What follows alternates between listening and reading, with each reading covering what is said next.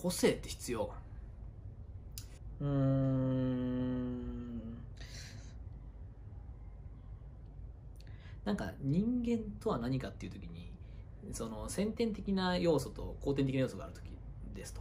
で後天的な要素っていうのはまあもちろん自分でコントロールできるものとできないものがあるんだけれどもなんかそういうものが積み重なっていっていってその人間というのがこう出来上がってくるとした時にその出来上がったものをじゃあ個性と呼ぶんだとしたら